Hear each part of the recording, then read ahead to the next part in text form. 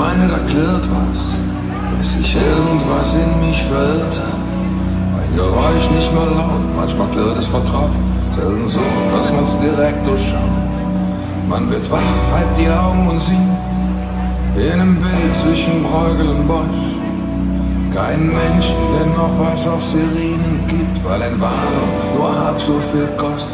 Es riecht nach Kristallnacht.